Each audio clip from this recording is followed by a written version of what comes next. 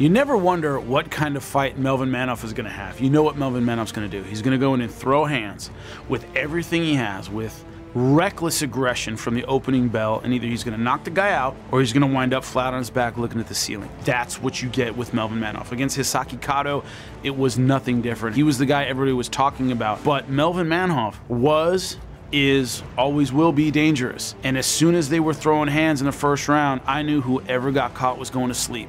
Kato had his moments. Melvin had his moments. Hisaki Kato let his hands down for a second, and Manhoef drilled him. He's still dangerous. He can still knock you out with either hand. It doesn't matter what he has to go through to get there. It's one of those things where no matter who he goes against, they all have the same problem. You can be a great kickboxer, and if he touches you on the chin, you're going out. You can be a mediocre kickboxer. You catch Melvin Manhoef on the chin, you can put him down. It's never a different equation, no matter who he fights.